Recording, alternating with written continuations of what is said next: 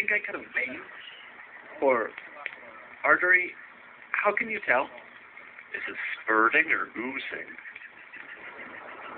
I don't know, uh, kind of hope. Capillaries.